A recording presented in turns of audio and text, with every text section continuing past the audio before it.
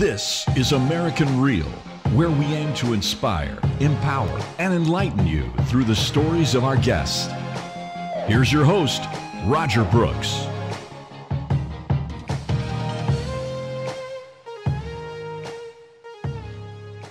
What gave you this spark to become an entrepreneur at such a young age? For the first probably 18 years of my life, I wanted to be a lawyer. So I got a job at a law firm, and then I decided I don't want to be a lawyer anymore. Um, but I knew that I always wanted to own my own business. The what really shifted my frame of thinking was a, the first entrepreneurship teacher that I had in college. She had us do a challenge where we wrote down all the problems that we faced for a week. Then task number two was to think of solutions to all these problems, and that was literally a pivotal moment for my brain because I started to see that I started to see the world differently in my day to day life. So instead of just seeing problems everywhere, I literally saw opportunities to solve them.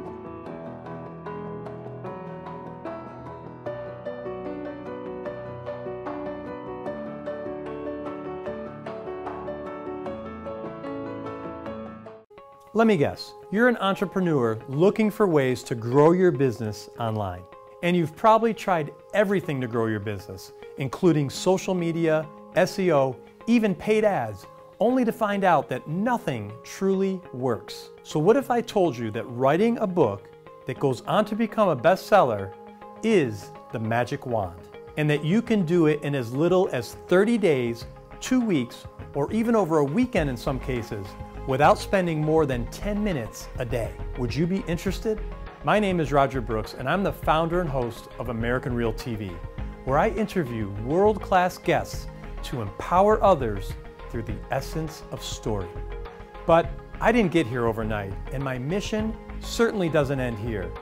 Ever since I was a little boy, it's been my dream to empower others through the craft of writing and storytelling. And throughout my life, I came across several mentors who pushed me toward my passion for writing books and helping others to do the same. There is no greater joy than to be working with aspiring authors and to help them establish true credibility within their industry by writing and publishing their first book, which I'm proud to say have all gone on to become bestsellers. Now, you're seeing this video because I just opened enrollment for my new book writing program, where I promise to take you from page one to published in 90 days or less. I will be personally working with you to overcome the same fears and obstacles that kept me from pursuing my dreams all of those years. Simply click on the link below to see how I could help you become a first time best selling author. I look forward to seeing you on the inside. This is American Real. I am Roger Brooks. My guest today is Alexis Schomer. You are a serial entrepreneur, digital marketing expert, author, and speaker with a passion for solving problems through innovation. Born and raised in Los Angeles, you graduated from California Lutheran University, Thousand Oaks, where you co founded your first tech startup. Alexis, welcome to the show. Hey, Roger. Thanks so much for having me. Excited to be here. Thank you. And I'm so excited to talk to you today because uh, as we talked in our first conversation, you're one of those young, inspiring people that I found on LinkedIn. And I thought it was really important. Most of the people, and you know, just in fairness, um, most of the people I interview are are middle age, I would say, you know, 40s, 50s, and you know, they've already made it, so to speak, or they're on their second career. What's fun about today's conversation is that you started while you were in college, and I had an opportunity to read the chapter in your book that I received, and, and I'm so inspired. So, oh, thank you. I want to inspire others through your story. So, let's do that today. Um, but take us back. I'd, I'd love for you to take us back even early days, like when you were growing up. What was the household like where, where you grew up in? What gave you this spark to become an entrepreneur at such a young age? Well, I actually wouldn't credit it to the household environment or my parents or even my personality because in the early days I wanted to be a lawyer and for the first probably 18 years of my life, I wanted to be a lawyer. So I got a job at a law firm, and then I decided I don't want to be a lawyer anymore. um, but I knew that I always wanted to own my own business. I didn't know what it would be, and I didn't switch my frame of thinking to think like an entrepreneur until I took entrepreneurship 101 in college. So I I personally feel there's a difference between being a business owner and being an entrepreneur, and you can be both. But a lot of business owners aren't um, innovative and they don't you know like owning for example my family owns a dry cleaner, so my grandpa's a business owner but i wouldn't necessarily classify him as an entrepreneur because he didn't start something that didn't exist or create some new technology so the the what really shifted my frame of thinking was a, the first entrepreneurship teacher that i had in college she had us do a challenge where we wrote down all the problems that we faced for a week so we wrote it down either on a notebook or in our phones. And I listed things such as trouble finding parking, um, trouble reading parking signs, uh, trouble carrying a phone when I go out, things like that, things that are annoying me or things that I just couldn't solve. And then task number two was to think of solutions to all these problems. And that was literally a pivotal moment for my brain because I started to see that I started to see the world differently in my day to day life. So instead of just seeing problems everywhere, I literally saw opportunities to solve them. Um, step three in that challenge is to pick your favorite one or the most viable one and roll with it. So that is really that's what being an entrepreneur to me is really about. It's about thinking of ways to solve problems. And if you encounter a problem, most likely somebody else encounters the same problem. And if you're willing to pay for a solution, then maybe you have a good business idea. So it was that moment where I started to think like an entrepreneur and think innovatively that shifted my my career path and I've never gone back. That's a great story and I'm curious do you keep in touch with this teacher? Yeah, yeah. She uh, I invite her I invite her whenever we have pitch days and she asks me to come back to her class every semester and pitch and pitch to the students and share my experience. And it actually has inspired other students who were taking the class as um, just to get some credits. Um, there's one story specifically of a student named Chad.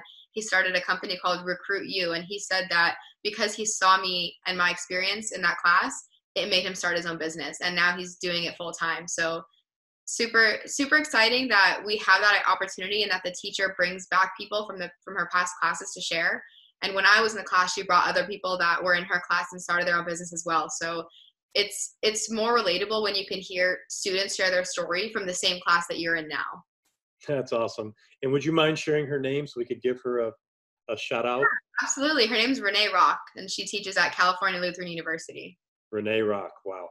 Sounds like she rocks. That's a great story, Alexis. So let's talk about your startup story. How, uh, you know, take us through. So you go through this class, you're starting to get, you know, your mind shifting a little bit. You're, I'm sure you're becoming motivated about this new word uh, entrepreneur that you've wow. come across uh, what happens from there so i joined the entrepreneurship club at my university and um, we had the opportunity to participate in a local startup weekend that was being hosted for the first time by ventura county so it was um, hosted by the county and they had a $10000 cash prize for the winner and it was in the they wanted to specifically to be in either healthcare or agriculture verticals so a few of us from the club were like, let's do it. You know, let's give up our weekend, 54 hours to this competition. Um, we ditched the parties, we ditched the homework, and we just went all in. So we went to this competition. We all pitched ideas. Um, my original idea was an at-home STD tracker, and these are ideas that you just think of on the spot, like 30 second pitch. So there were about probably 50 ideas that were pitched, and then you vote on your top on your top three favorite ideas, and then you form teams around them and then you have your team to develop your business. So unfortunately, our team was the only team of young students, and none of the doctors um, and ER directors and nurses and whoever was there wanted to be on our team. So we were actually left out, and we formed our own team with the four students that went from from my school. And uh, we the original idea that we came around was some sort of concussion detection helmet um, quickly realized that it already exists in the market. So then we had to completely scratch it and start from scratch, start from square one. And then I had an idea. Um, well, I was we were trying to think about like what experience do we have in healthcare, and we didn't really have much healthcare experience. So my only kind of connection to healthcare would have been through sports and athletics, and I used to be a competitive cheerleader in high school. So I thought of an idea for uh, a device that a cheerleader would wear around her wrist, so that when she's holding a girl in the air, um, if the girl if the girl leans forward and her wrist is bending, it would beep or it would you know shake or something. It would give a, a signal like stop stop uh, towing we call it. So my team went with this idea because we didn't have anything else, and we were like, all right, we're gonna do joint joint activity tracking. So let's let's shift from the wrist to the largest joint in the body, which is the knee. And then we decided to shift from cheerleading to powerlifting because um, I was thinking about powerlifters and how they're judged in a competition when they have to hit that 90 degree squat. And it's it's by eyesight. And I'm like, there's so much level of or there's so much room for human error there. So we should have a device that tracks it. So we did this um, pretty much for at least 24 hours. We got data. We we went to gyms and interviewed people. Um, we we developed like a prototype, and we were going to create this wearable for fit for squat tracking. Essentially, one of the original names that we thought of was Squat Sense, and then we we decided to go with the name Rep Watch because we're watching your reps. But then we realized that not only is um, not only does that exist in the industry already, but they don't need it because the industry has been doing just fine without it. So we'd be creating a, a wearable and a, this app for a reason that people probably wouldn't pay for because the the judges are doing fine tracking by eyesight. So it was literally two hours before we're about to pitch, um, and one of the judges kind of discredited our idea, and we were like, "All right, let's just go home." Because he he brought up a competitor that we hadn't found, and he's like, "This already exists, guys." So we were super bummed out. We were just considering um, leaving and do, catching up on homework for the weekend. And then a mentor came around and asked what our idea is, and we didn't even want to share it because at this point we were just so bummed out that we put all this time and energy into this great idea that we had just to get discredited. So finally he got us to share the idea, and he was like, "Oh, that would be great in um, physical therapy, especially for workers' comp." And it was just like a light bulb, and we're like, "You know what? Let's pivot. Let's do it." So two hours before we walk on the stage and pitch, we changed the whole deck, we changed the whole business model. And then our final solution was the same idea of tracking and counting reps, but for workers that were injured and trying to return to work. So we, we tried to sell this to the workers' comp insurance companies. Um, they, they loved it because we could actually catch the cheaters and eliminate fraud. And we pitched this and we won the $10,000. So that was great. Yeah, that's that, my story. What did that judge have to say? Um, he was impressed that we pivoted so quickly, and we actually kept in touch with him, and we actually won a free um, provisional patent from him. He was a provisional patent lawyer attorney, so we kept in touch. He helped us develop our provisional patent for that company, um, and we still still see him around. Uh, that this was a few, uh, like, I think, uh, four years ago now. That's great. So, yeah. did that product actually come to market? So we were we developed we worked on that product for a year and a half um, we were almost complete with the first version of the app. We had a prototype for the wearable, and then um, my, my business partner and I got bought out by our third business partner for that company. So we left before it actually launched and started our second startup together. Okay, great. Wow. Well, congratulations. What a what an amazing story and uh, what a you know the, the fact that you guys didn't go home that you did the pivot and that you won the contest. Yeah. Just says so much. That says so much. So walk us through your next startup or as you call your startup story. Okay. So phase two, uh, my co-founder, my co-founder John and I, who are in our new startup together, um, we learned about this shift in the market from in the i don't want to bore you with the details but basically it's an insurance shift and it changes the way that providers are getting paid and we found a niche that is under that currently is lacking a solution to to kind of go along with the shift because basically doctors now have to manage the budget of a recovery.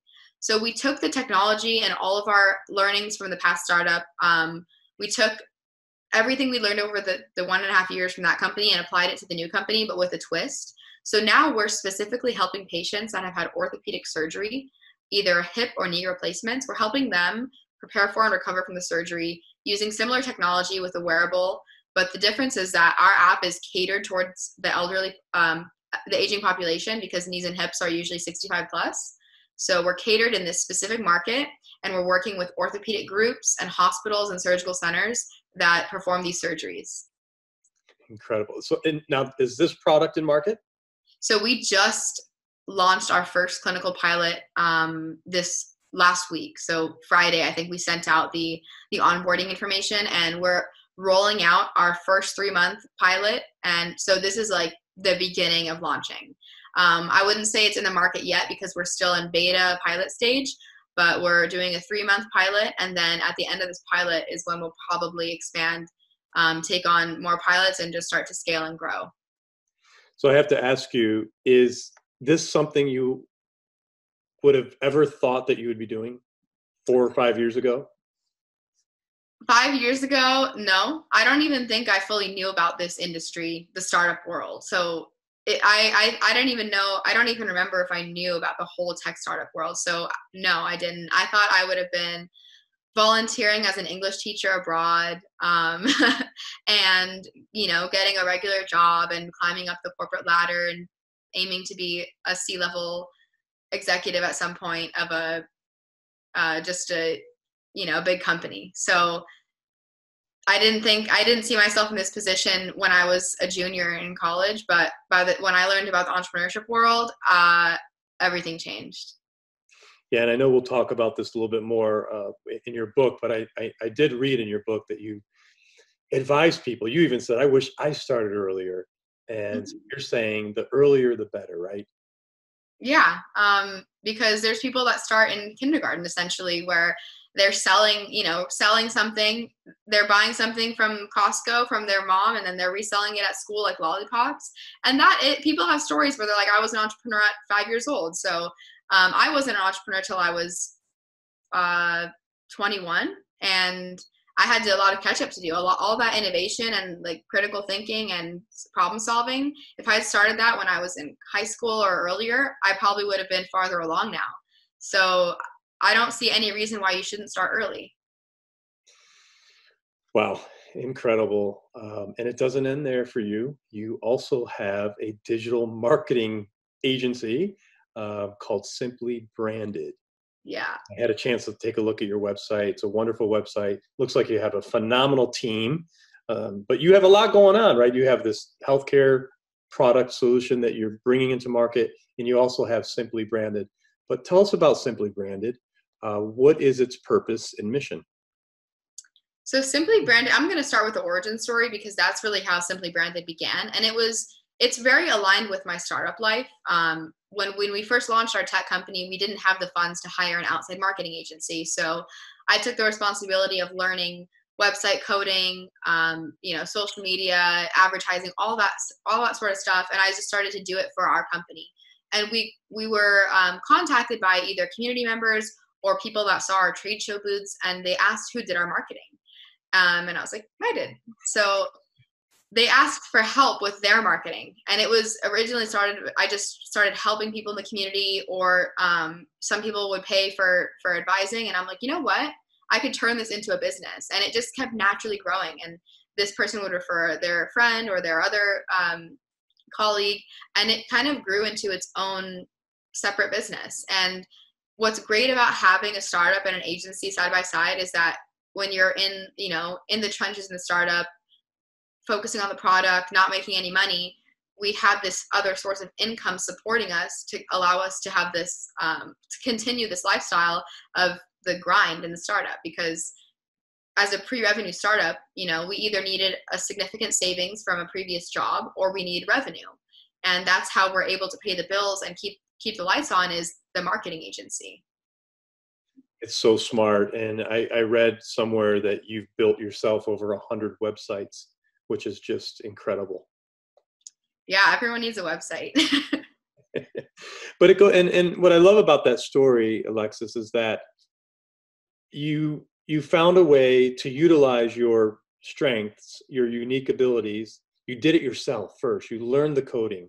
Um, then people asked, you know, who's your agency?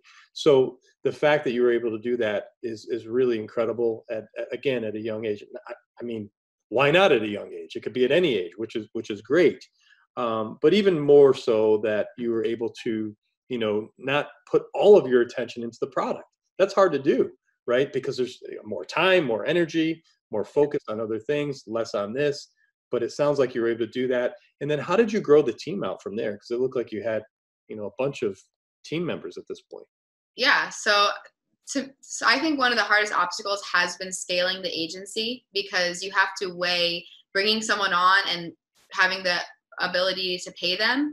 Um, you have to weigh that with trying to get new clients and grow the business. So it's definitely a little bit risky as you grow because if you have a bad month where maybe um, nobody wants a new website, then it's hard to maintain the team. So we scaled slowly over time and we um, scale on a project basis. So I didn't go out and hire a bunch of people and hope I had business. I worked on the business development first. And as more clients came in and I built up that monthly recurring revenue, then I expanded the team. So I definitely carried like carried the weight for a long time and and handled all the tasks by myself, which was very, very overwhelming.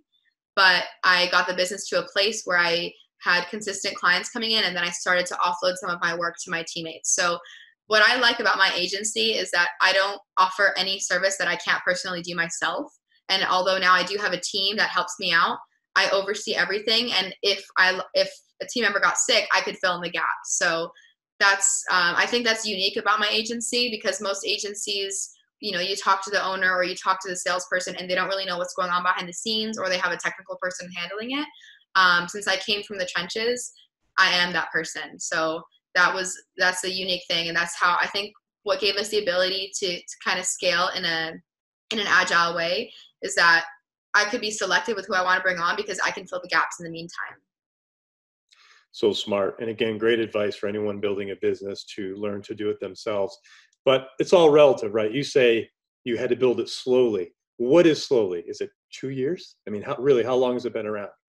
Um well so Simply Branded itself officially launched um, January of 2018. Okay. So just over a year. But I had been doing the work and um, working as an kind of like as an agency probably for the last three years, three to four years. Um, and I was doing freelance work before that. So from the time that we launched Simply Branded, um, we wanted we we wished to grow faster within that first year. So it took it took over a year to get to where we are now, which we would have liked to do in the first six months. Um, but you know, I couldn't fully focus on growing Simply Branded because I had a tech startup that I had to work on also. So it, it is like it is a crazy. It, you know, there's no balance, and it's a crazy like push and pull relationship. Because if we could focus on just one company, it would grow faster. But we need the you know we need the agency to be able to keep the lights on and we'd want to do the startup. So it's like we're just kind of pushing both at the same time. How important is it for you to be a student of your calendar, especially with so much going on? Are you are you really good about organization and making sure that your time is spent very wisely throughout each day? Absolutely. Time management and prioritizing is one of the most important things in our company. And my co founder and I spend a lot of time prioritizing together so that we don't work on tasks that aren't the most important because some days I might get caught up in client work when I should have been doing something else that was more important, and the client work isn't due for another three days. So we do sit down um, either on a we try to do it as often as possible. So sometimes we do it daily, sometimes we do it weekly, and we definitely do it monthly, where we, we say, okay, this is the list of 100 things we have to do. What's the most important? What's the second most important? And another thing that we do is we estimate the time for each task. So we know that, you know, the first five tasks are going to take an hour each. And then these are going to be 30 minute tasks. This is going to be a five minute task. This is a two minute task. So we have this robust software where we where we organize all of our tasks, prioritized by um, urgency, due date, and um, estimated time. So definitely something that's important. And we're, we're trying to get even better at time blocking. So, you know, you get calls throughout the day, takes time out of what you're doing. And what a system that we've tried to put in place is recalendaring the time that was taken away. So, for example, I get a client call, takes away 30 minutes of my time that I was supposed to be um, working on this website. I need to recalendar that time somewhere else so that I don't lose it. So, what happens is when you get those calls, the whole day gets pushed back. And so instead, we want to keep the on schedule and just reschedule the tasks that we had to miss. So smart. That's so smart. I'm learning a lot today from you. Great. And so are our listeners. Now, what about prioritizing? Uh, what if you take on business that is, you know, a lot, right? So this new project comes on, it's, you know, but it's a lot of hours. Um, how do you manage that? Because I know you talked about being really smart about hiring people. Do you try to take on as much as you can first before you take that next step? Especially if a big project just, you know, comes into your lap. What do you do? So I would always um, manage client expectations before we start the project. So if there's a project that comes in, let's say it's going to be 30 hours of work, I would make sure the due date is far enough away that I can manage it in that time. Um, and that's definitely happened. We probably one of the biggest projects that fell into our lap was a website. We were building a, a platform from scratch. It was essentially going to be the Netflix of working out. Hmm. And they gave us 11 days to build it. They're like, we need this by this date. And we looked at each other and we're like, do you want to do it? You want to do it? All right, let's do it. So um, we blocked out time and we made sure that, you know, it didn't conflict with other due dates, but we knocked out that website, that platform in 11 days. And that was the most crunch timeline for that big of a project we ever had. But um, we make it work and we don't take on things that we can't complete. So if they came in and we said, you know what, we're going to need three weeks to build it, we would just communicate that up front. Okay, fantastic. So let's shift a little bit and uh, talk about what people refer to today as the side hustle. You know, many people have one or more side hustles. Mm-hmm. Um, talk about that. Talk about your experience with that, and, and maybe some advice for people that are looking for that side hustle. Okay, so when I when I was uh, in college, I had a huge um, obsession with the side hustle, and I would meet people and ask, "What's your side hustle?" And I and I always thought it was important to have that. And now that my side hustle has become my main hustle, um, I think it's good also to stay focused. So there is that balance of having too many distractions and too many side hustles, and then staying focused. So I think if you have a full time job then I would recommend having a side hustle because it keeps that creative side going.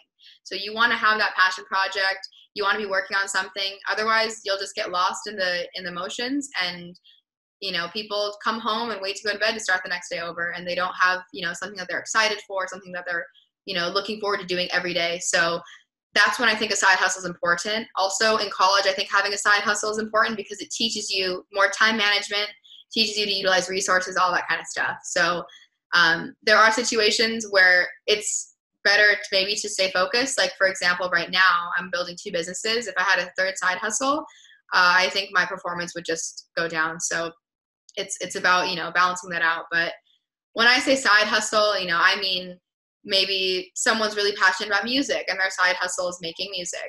My side hustles were starting other businesses. So I had a pop up clothing line in college that we um, worked on really hard for three months, popped it up, learned a lot, failed, canceled it. But it was really fun, you know, keep that energy going, kept, kept the energy going. And then another side hustle I had was something called a wristband charger. And it was essentially a bracelet that was a charging cable, came in iPhone or Android. And it was so practical because people often need a charger and don't have one. And so this is something you could wear on your wrist. I actually have one. I'll show you real quick.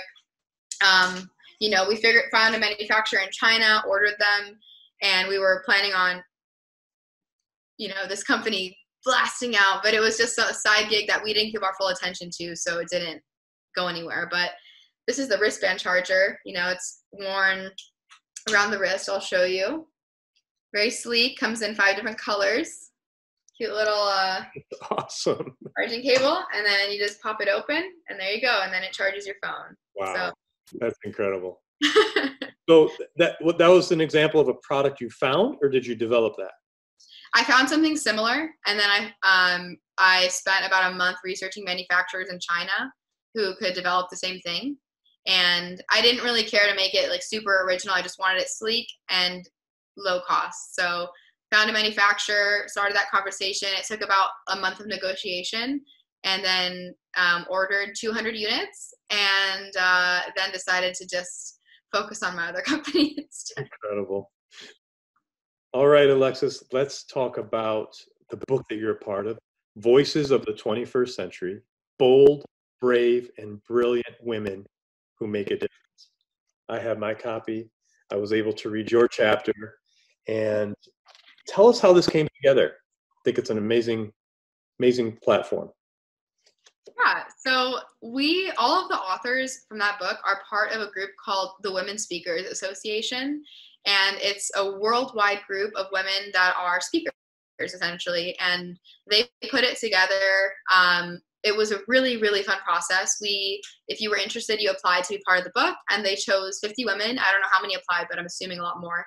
Um, chose 50 women. We submitted our chapters, and then we went through the book launch process together. So we you know we had this facebook group where we would share any ideas share launch strategies talk about how to market the book um, we promoted the book together and i think my favorite part of that process was the author panel that i put together um, i asked any of the because the authors were from around the world so we got the ones that could make it to la and put together a panel to talk about the book and that was so fun for me because it was great to meet my fellow authors in person since it was a mainly virtual experience. Um, somebody flew out from Colorado. We had people drive down from uh, Ojai, and that was so much fun. So the entire process was actually really smooth. It was a collaborative book with 50 authors, and um, the women that had actually published books before said that this process was the smoothest one they've ever been through. So it was a great experience. You know, wasn't stressful. It was just really fun, and and I love writing, so it was no problem for me to knock out my chapter. And it's a brilliant business idea, and I'm assuming that each writer gets their name on the cover, and that you're able to maybe sell your own books. Do I have that right? Exactly. Yeah. Yeah. I love it. It's a brilliant uh, business idea. I'd like to read a sentence that caught my attention, and I'd love for you to comment on it. Okay.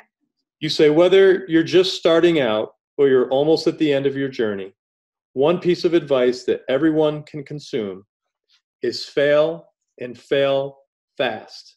I'm sorry, fail often and fail fast. The best learning experiences come from failure. And as an entrepreneur, you cannot be scared of failing. I love that. Yeah. So you know in in the entrepreneurship world the word fail is not bad it's good because it means that you tried something and it didn't work but the biggest part about that is that you learned something. So you either learned how to do it or how not to do it.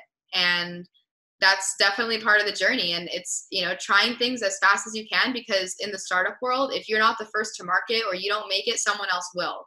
That's why it's important to get through that process quickly. And the startups that fail long term often took too much time getting through one chunk of the process. So, you know, they say get your product out before it's ready, get users testing it, because if you wait till it's perfect, it'll be too late. Awesome. Great job on that chapter, by the way. It was very inspiring. And I'm actually going to have my kids read it. And oh. we have interns that help us with the program and our uh, agency. And I'm going to have them read it as well. Very Great. inspiring. Thank you. Okay, you have uh, experience with an accelerator program. Can you talk about that? Yeah, so for those of the listeners that don't know, an accelerator is a program that startups apply to, and it's usually three months or six months. They accept um, X amount of companies. It could be two, it could be 10, and you're pushed through this program altogether, and it's meant to accelerate the business. So uh, one example would be um, an accelerator that gives $100,000. It's a six month program and they help get you to the next level. So, the program that I participated in is called the SAM Precelerator. It's located in Santa Monica, California. And we were actually the only company in our cohort, which was the very interesting because it was the first time that there was only a single company.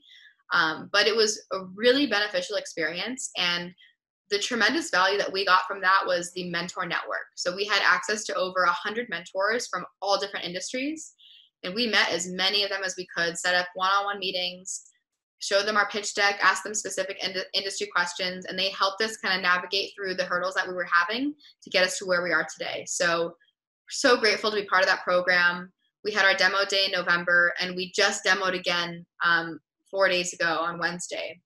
So the demo days are when they collect a bunch of angel investors and community members to come listen to our final pitch. And so we pitched our business, um, audience asked questions, and then we have a demo table. So it was, you know, it was exciting to see that when we started the program, we had an MVP that was not something that we were ready to hit the market with.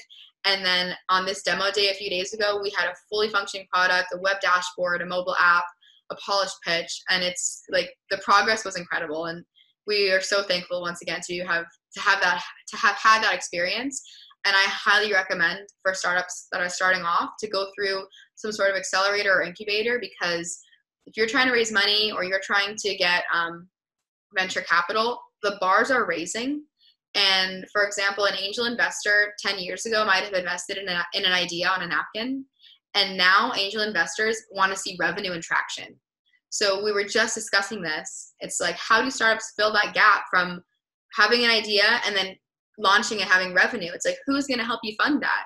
And these accelerators are the answer. They're they're filling that gap between idea and revenue to help accelerate the business. They take that risk on the early stage startups.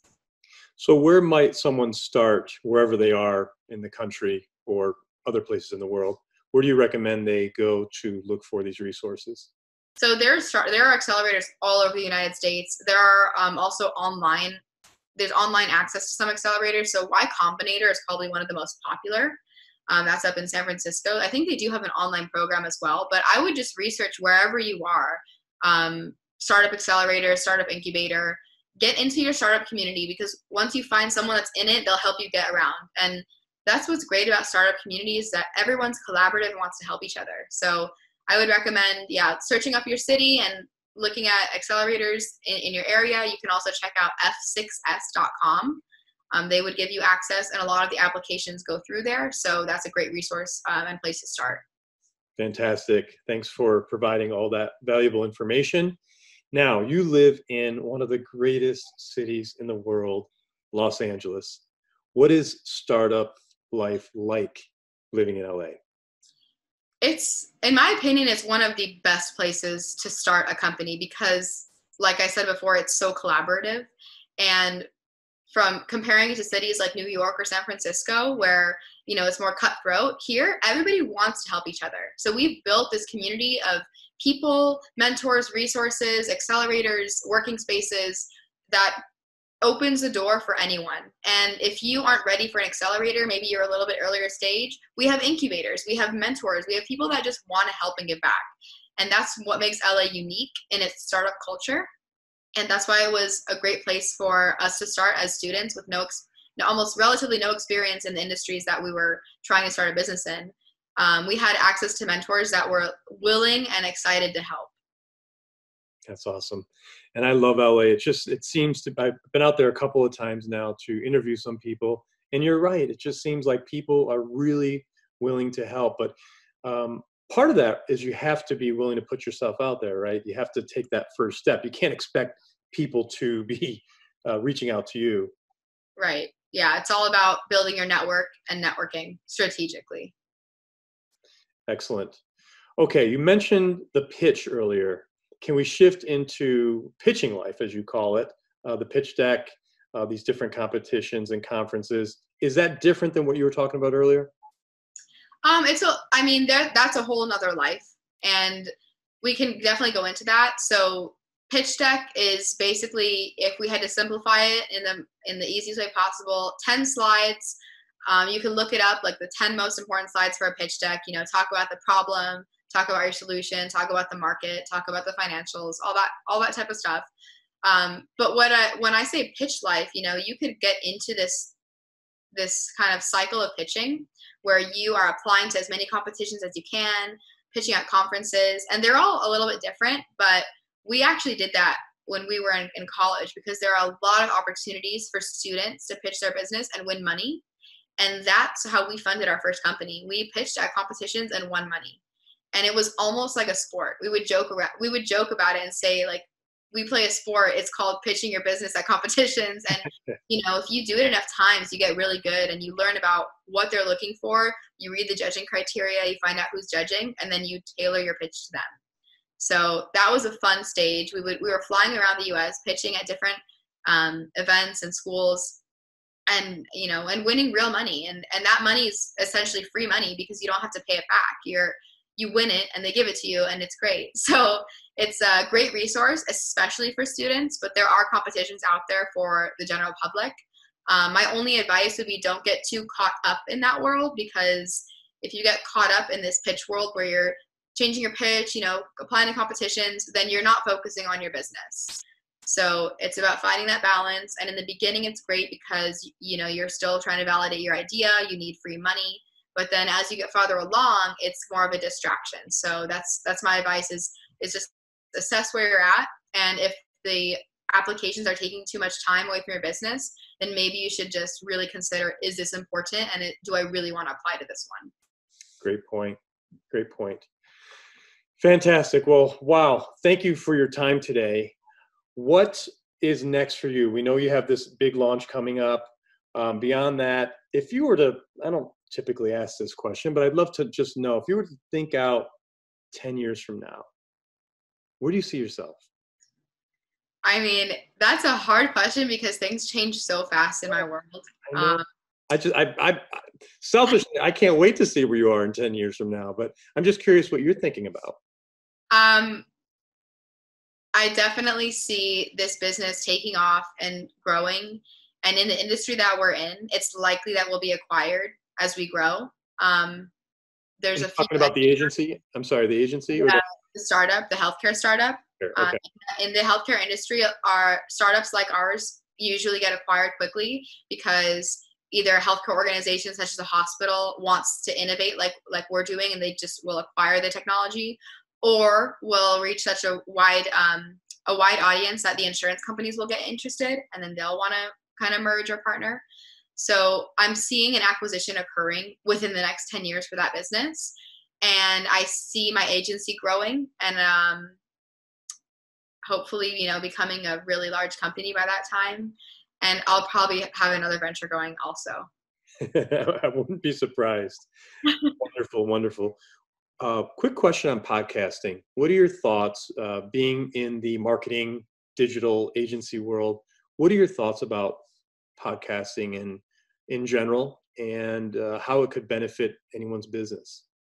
Yeah, so I mean, I'm guilty of not having one as of now, but I think that they're a great way to get out information, um, give free resources to your listeners, and get more exposure. And they're relatively free to start. You know, you just need a microphone and a webcam and a and, computer that works yeah exactly um, but we all have that anyway so i think it's a great resource. Um, the only part that i would wonder is how do you grow your podcast in an effective way?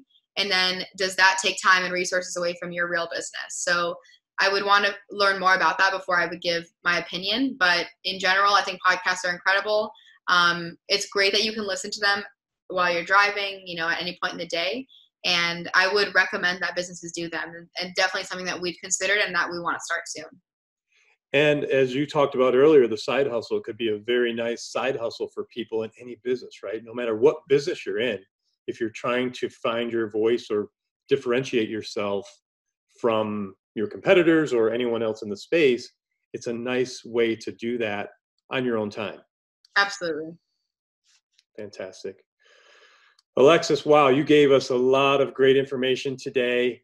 How do people reach you if they're interested, if they're if, if they would like to reach out to you for agency work? What's the best way to contact you?